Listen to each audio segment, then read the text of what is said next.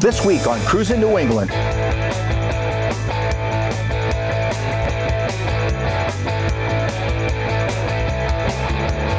Today we're in Ocala, Florida to visit an old friend, Rick Schmidt of National Parts Depot. Boy, does he have some Mustangs to show us.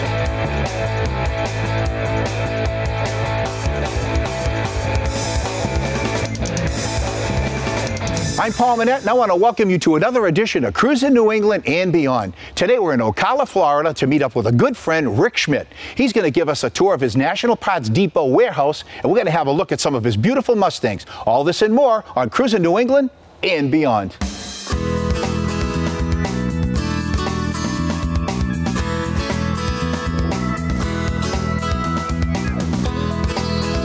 All my life, I've been cruising New England, meeting great people, visiting amazing places, and discovering wonderful classic and custom car collections, nostalgic automobilia, and so much more. Come on and join our adventure.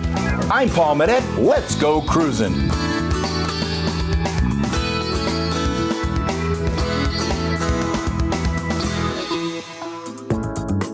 Closed captioning for Cruising New England on NESN is being brought to you by New England Recycling. Waste put to work.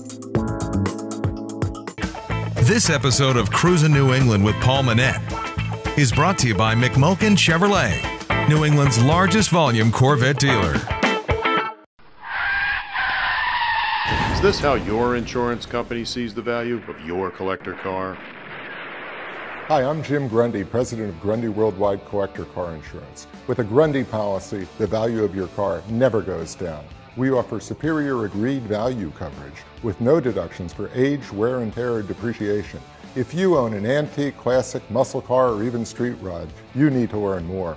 Call us today or visit us at grundy.com.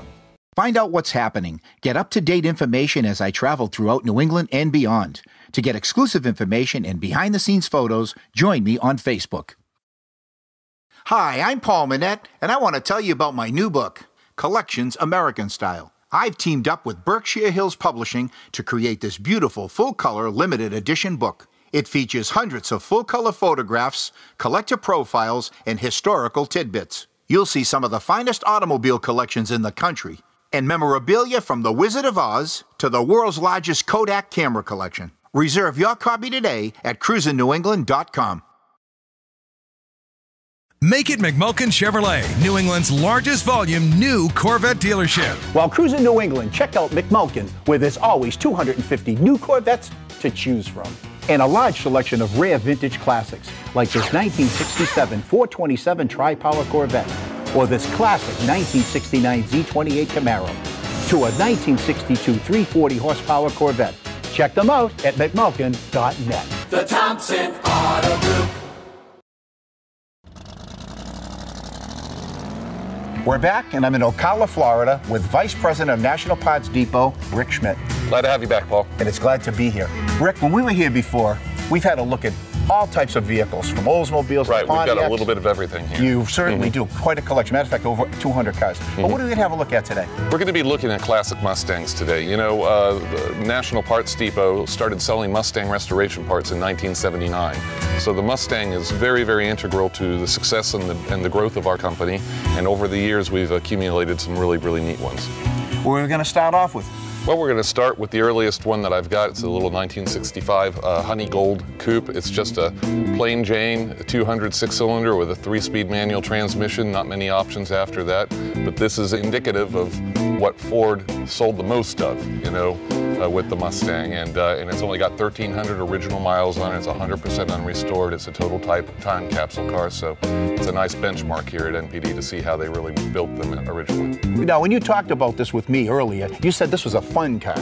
Yeah, it is a fun car to drive. People, uh, so many of these little six cylinders have the have the straight sixes uh, pulled out, and they drop the V8 conversions into them. But when it's running right, they're torquey little, smooth little motors, and the handling is nice and balanced, and it's a lightweight little car. And uh, you know, with 1,300 miles, people go, "Oh, well, you never drive that." I've actually driven it on, on more than one occasion. When I drive it, I drive it pretty uh, aggressively, and it's just a fun little car. I wouldn't change a thing on it. I'm going to tell you something. There couldn't be many out there with 1,300 original miles on. It. No, no. I, I, there's there's a handful of very very low mile original uh, series Mustangs out there around the country, but uh, I think this one and, and, the others that exist you can count on one hand. Now this particular color, did they make a lot of these? Honey gold, it was a very popular color. You know the the, the green metallics and and, and uh, these types of colors while maybe not so popular today, were hugely popular in the 60s. I look at the interior on this and it's beautiful. Mm-hmm. It's got the bucket seats. It's very sporty. Yeah, and all of that's all original in the interior, and it's very Spartan. There's no console. There's not a lot of options in this car, uh, but uh, but it is very sporty. It, it was what the Iacocca was trying to accomplish with the Mustang is a lot of style, a lot of sport, for a very meager price. You know, the whole driveline in this car basically is pulled straight out of the Falcon. And how successful was it? What they had 22,000 on the first day in Yeah, enormously successful. You know, it was uh, it was a home run right out of the park. So Rick, what are we going to see next? Now we're going to skip to the very next uh, uh, design uh, uh, generation that uh, Ford came out with, the 1967 Mustang, and the one we're going to look at is a car that we've also known since uh, back in the late 70s. It was the very first restoration that National Parts Depot, we used to do restorations back in the day, uh, completed. It was job number one in our restoration shop, and we were able to acquire it back from the estate of the uh, owner of the car who consigned the restoration with us. And it's a fully loaded, full tilt, big block 67 Mustang GTA 390 with deluxe interior and all the whistles and bells in a beautiful color combination. And you're very lucky to get it, aren't you? Yeah, very, very fortunate. Now, this was a big jump for Mustang from, to go from that 65 that we talked about to this car. They started they, they started making the envelope bigger to where they could drop larger motors into it, and this one has the 390 cubic inch Ford, uh, the FE Ford Edsel big block in it, uh, which uh, in 1967 was the top of the line, unless you opted for a Shelby, which came with 428. Okay, so now where are we going to go from here? Well, I think we're going to skip up and uh, go to uh, 1969, which was a yet another uh, design upgrade from Ford, and probably my favorite. This Blue 69 Mach 1 is a car that I've owned since 1992. Uh, it used to belong to one of our old paint and body men from our restoration shop, so when I was a kid, I remember watching him drive this car to and from work every single day. And uh, it's one of my favorite colors, Acapulco blue. What makes this car special?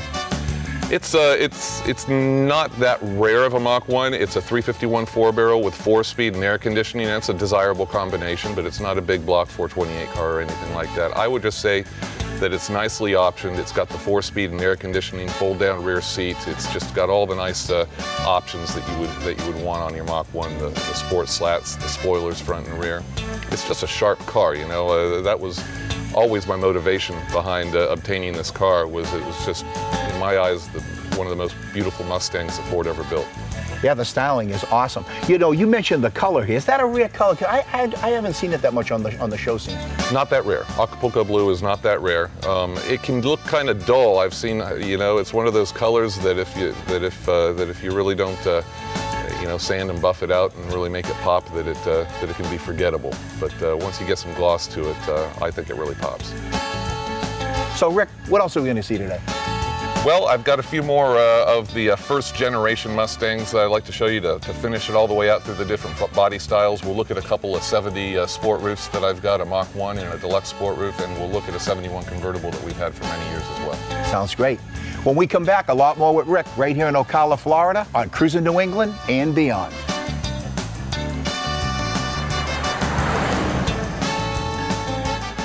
This episode of Cruising New England with Paul Manette is brought to you by MacMulkin Corvette, where there is always 250 Corvettes to choose from. Order a bunch of parts to get ready for the car show this weekend? And I got a hot deal, too. You think? Think again. Oh, man.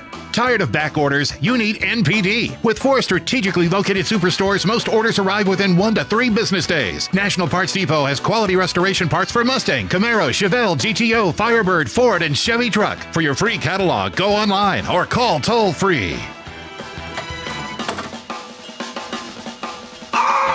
Do you have a child with food allergies? Does your school need help managing food allergies? I'm Gina Mennett Lee, a nationally recognized food allergy author, educator, and consultant. I provide a common sense, fact based approach to managing food allergies at home and at school. For more information, visit foodallergyconsulting.com. We're the Hill family, and we are Imperial Worldwide. We are the largest insulation supplier in Central Mass. We specialize in insulation, vinyl siding, seamless gutters, and closet-made shelving. And, and we are going to save you money. We're the Hills! I'm Lieutenant Gary Scott. Green Mountain State has beautiful sights for all to enjoy. To protect our great state, Vermont will not tolerate drug driving. Drug recognition experts are being deployed statewide to keep our roads safe. If you get high and drive, you will be arrested for DUI. Your special moments are something to remember. For weddings, portraits, and special events, contact Sparks Fly Photography. Would you like more information about the Cruising New England Car Show series? Go to our website at cruisingNewEngland.com.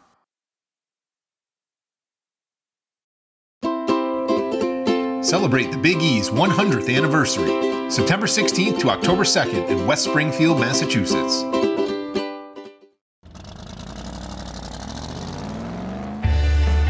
We're back in Ocala, Florida. I'm with Rick Schmidt, and we're going to have a look at some more Mustangs. Yeah, we're getting up in years now. Uh, with the 1970s, I'm about to show you essentially the same car as the 1969. Ford just revised the, uh, freshened the front and rear styling a little bit, and eliminated the little quarter scoop that was on the 69 Mustangs as well. And uh, this is a uh, 1970 Mach 1 with the base engine, the 351 two barrel in it, but what makes this car very special is it only has 4,900 original miles on it, and it is just an absolute time capsule, 100% original, like a brand new car, even the original tires on it. What makes this car special, in your opinion? Oh, there's not, uh, there may not be, you know, a, a, lower mile or a nicer original Mach 1 out there for a 1970 as far as that goes. And I just think it's a good looking car. The white, the white body color really makes the uh, black Mach 1 graphics and rockers jump out on it. So it's a good example. Let's talk about what's under the hood on this. 351 Windsor two barrel. In 70, the two barrel 351 could be a, either a Cleveland or a Windsor, and the original owner of this car spec the Windsor for, for whatever reasons I don't know. What makes the styling, you really notice that back window. Yeah. All right, mm-hmm. I mean, that's the first thing you see when you look mm-hmm. at this mm-hmm. car. Let's talk about that. Well, I mean, the fastback styling, when it, in 69 and 70, they, they put in this little ducktail that was kind of reminiscent of what Carroll Shelby had going on.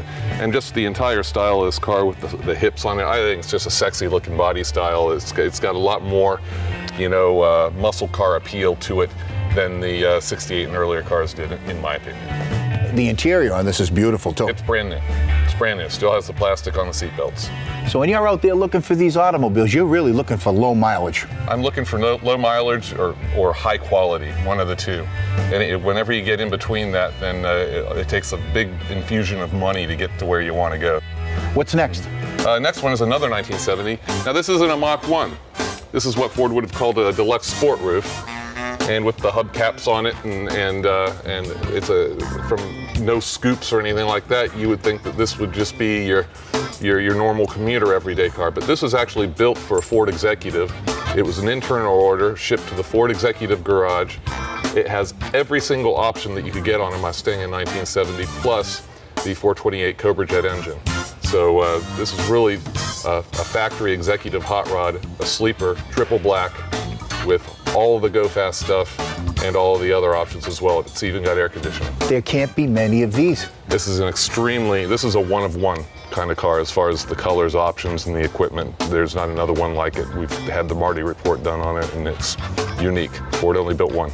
So we talked about it. Can we have a look at what's under the hood? Oh, yeah, absolutely. It's beautiful. It's Tell been, us. It's been fully restored, and basically what you see crammed in there is uh, is all that you could get in 1970. The big 428 Cobra Jet, air conditioning. It's got the original smog system on it. So Rick, what's next? Next is another car that's been in our family for uh, for a long time now, since the late 70s. It's a 1971 Mustang convertible. Uh, it's a, in a factory color called Ginger with a matching Ginger Deluxe interior. It looks just like kind of a plain Jane Mustang, but it's actually a well optioned and it's got the uh, desirable M code 351 four barrel Cleveland engine in it, so it's a good performing car. My dad just bought this at a, at a regular car auction, wholesale car auction back in the late 70s. Um, it, it, it, had only had one owner and it was so immaculately kept that the only thing we had to do was put a paint job on it because the original owner was rubbing through the factory paint from waxing it so much. And we, it, he bought it with the intent to resell it and make a little bit of money, but it never wound up finding a, a buyer willing to step up for it. So we've just kept it all these years. And so it's been with us for, gosh, you know, going on 40 years now. Another story. Yeah. You always buy these cars as a family car. I hear that over and over. your father, you, your mother. Mm-hmm. Back in the early days, yeah, yeah. There's only a handful of cars in this collection that really date back that far, and this is one of them. So, Rick, that interior is all original? Yes, every stitch of that interior is original from the from the dash pad all the way down to the carpet. We've never replaced anything on that interior, and it's, and it's survived beautifully. When we come back, a lot more Mustangs and a behind the scenes look at the National Parts Depot warehouse. All this and more on Cruising New England and beyond. Still ahead on Cruising New England.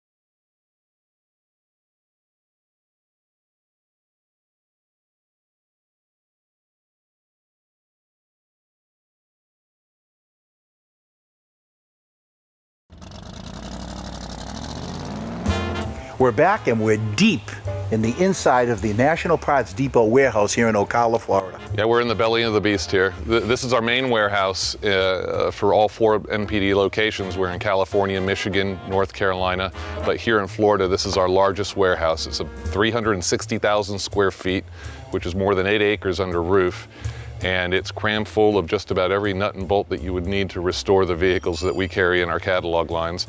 So, Rick, we're talking about Mustangs today, and I know Mustangs are a big part of your family business. Huge part of our business. My dad started the business selling uh, 55 through 57 Thunderbird parts, but as soon as that got up and rolling, the very next big thing he saw on the horizon, and wisely so, were the classic Mustangs. So we've been doing Mustang parts since 1979, and uh, and it's always been our, our, our most successful and largest catalog and product line. You can build an entire Mustang off of these shelves.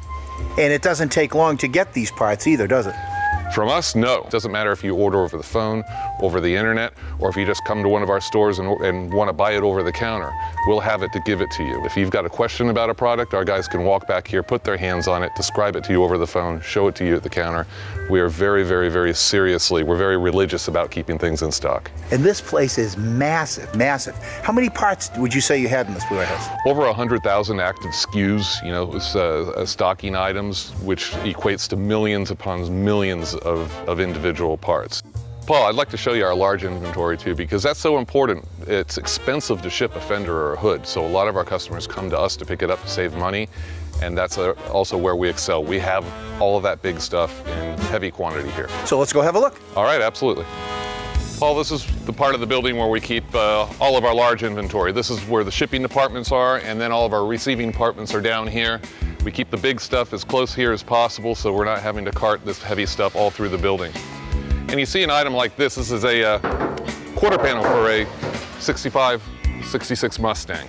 It's a big piece. It can't go in FedEx. It can't go in UPS. But technically, it is too large. They will not accept it. It has to go truck freight. Truck freight anywhere around the country runs between 100 to 175 dollars a pop. So us having this stuff here in stock is very, very beneficial. And uh, and this stuff is really uh, freight intensive, such that a lot of our competitors don't even want to touch it. They won't even stock it. We've got it here. We can inspect it for you. We make sure before we pack it that there's no dings, dents, or other anomalies on the part so that you're going to get a quality part. And yeah, behind us, we've got full floors for Mustangs. And back there in those shows, we've got doors, we've got gas tanks, all the hoods and roofs, the big stuff is here at NPD, so it's on hand to where we can ship it and make sure that it's packed safely to get to you, or you can come pick it up from us. So, Rick, National Parts Depot is more than just warehouse and shipping. No, each one of our locations has its own phone sales department and retail counter. In fact, we've got a beautiful uh, retail counter and phone sales area here. Would like to take a look at it? I'd like to. Well, we've seen the backside of uh, NPD and how that operates, but this is the front end. This is the retail sales uh, side where we take all of our phone orders, we process all of our internet orders, and we also have our retail counter where people walk in all day long. We've always got customers at the counter buying parts for their projects and taking them right out the door. It's not just Mustangs, though. Even though we're talking about Mustangs today, yeah. what are the other catalogs and what, what do you have to offer? Oh, we've, we've got Camaro parts, Firebird Trans Am parts, uh, Chevelle parts, El Camino, uh, Ford truck, F Series truck, uh, Chevy uh, C and K Series truck. You got quite a place here. matter of fact, your showroom looks more like a mini museum. we also display some of our uh, collection out here to, so our customers have something fun to look at while they're waiting for us to pull their parts. Uh, one of which is a few Mustangs, obviously, since we're selling Mustang parts. And a, a very, very interesting one is one that we're standing right in front of here. That's this uh, red 1979 Mustang. 1979 was the very first year for the very popular Fox platform Mustang. And if you look on the windshield right there, this is vehicle number, serial number 00001. It's the very first Fox body Mustang order ever entered into the system at Ford Motor Company to get a number one of anything is incredible. Almost unheard of. Usually the factories hold on to those cars. Sometimes they get crushed. So it's only got about 14,000 original miles on it. It's still on its original tires, paint. Nothing about the car is, uh, has been restored in any way, and it's in pretty decent shape. Now, I would think that this is something you would probably never restore? No, we're not going to restore it just because it's in nice enough original condition that it's probably best to leave it be. Rick, I'm having a lot of fun. You think we could look at some more Mustangs? Yeah, let's keep going. When we come back, a lot more Mustangs at National Parts Depot in Ocala, Florida with my good friend Rick Schmidt.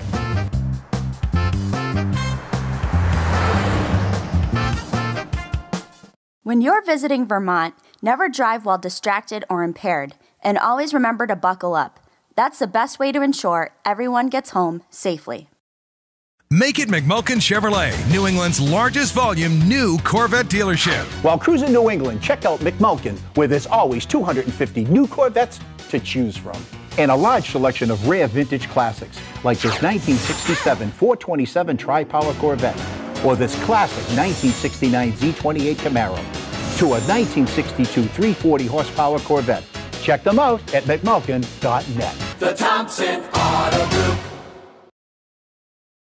Imperial Worldwide insulation vinyl siding, copper and seamless aluminum gutters, closet made shelving systems, and zero clearance fireplaces. We strive to make the building process easy and fun. Check out Cruisin' New England Productions website.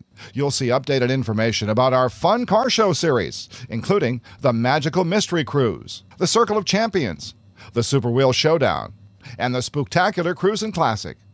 Also, subscribe to Cruisin' New England magazine we feature some of the hottest rides in the Northeast, along with event listings and a whole lot more. Don't miss a single issue. And if you want more information about sponsorships, advertising, or personal appearances by Paul Manette, email us at cruisenewengland at AOL.com. Building Maintenance Services. We've been servicing the Northeast since 1990. We service and repair revolving doors, automatic and handicap doors. We can help you design an attractive, efficient entrance you can be proud of. Protect your investment and secure your property with yearly maintenance contracts and 24 hour service. Whether in office, medical, or commercial high rise, we'll get the job done right for you. Building Maintenance Services. Do you have a vintage car, boat, motorcycle, or airplane collection, along with some memorabilia? Would you like to be featured on our show? Email us at cruisenewengland at AOL.com. We're back, and I'm with Rick, and now we're going to have a look at some pace cars. Yeah, we've got uh, a couple of neat pace cars. Uh, the first one here is a 1979 uh, uh, Indianapolis pace car. Uh, Mustang paced the race uh, for Indy in 79. And of course, as all the automakers do, when they pace either the Indy or the Daytona 500, they often produce pace car replicas in limited productions that go out to the dealerships for retail sale. And this is one of those pace cars. It's a turbo four cylinder, four speed version of it. I love looking at this car, but I know you have another one you want to show me. Yeah, this is a neat pace car right here, but how would you like to see one that actually paced the Indy 500? Let's go. All right. 1994? This is 1994. It was the next opportunity that Ford had to pace the Indy 500, and they did it with their all new for 94 uh, version of the Cobra Mustang.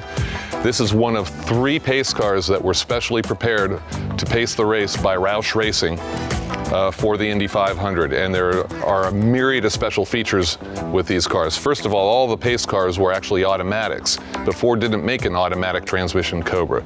So Roush had to install specially built automatics in with the Cobra drivetrain for these cars.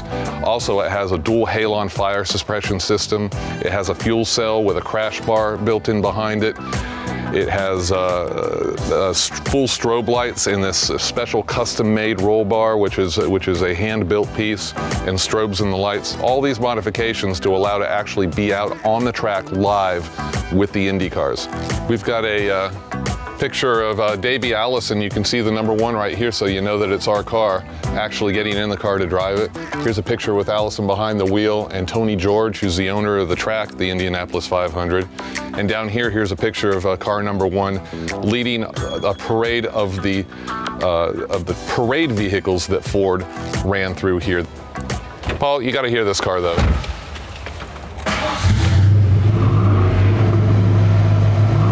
dashboard has a signature on it.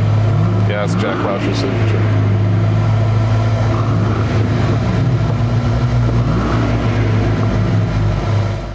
So, Rick, what are we going to see now? Uh, we're going to look at a factory hot rod now. This is a 2000 R model Cobra. The R model Cobras are basically uh, factory race cars that, that, are street legal, but uh, not really intended for street use.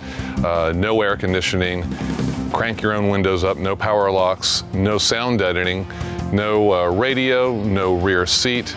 It's just a full out, lightweight uh, uh, competition suspension race car. And in the case of the 2000, it's powered by a 5.4 liter modular four valve V8 that put out 385 horsepower. So, uh, so it's a real fast, uh, pretty bare knuckle, limited production Cobra. Yeah, obviously it has a unique hood that has a very high dome to it to fit that enormous uh, uh, two-piece intake on top of it. And it's just a high revving, screaming, big power, big displacement V8 with a six-speed uh, manual transmission.